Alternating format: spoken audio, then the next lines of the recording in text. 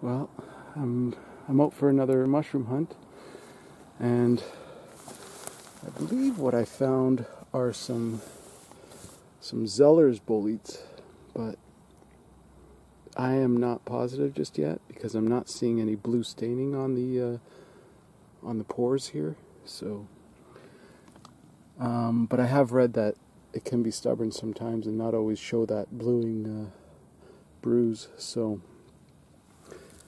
I'm gonna have to look into it further, but yeah, I've been collecting a bunch of these. And I also just found a small, kind of old uh, golden chanterelle, so that's cool.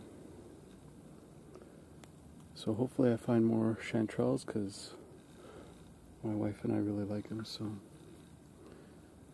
but I'll take those if uh, the Zeller's boletes if they're edible. But yeah, I'll post in the comments uh, the scientific name of this mushroom once I identify it.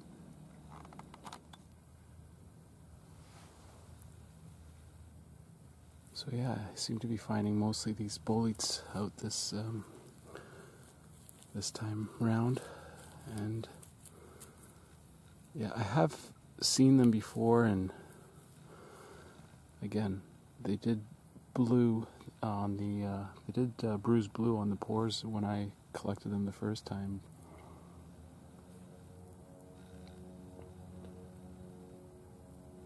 So again, it might be a different variety, but I'll have to check when I get home.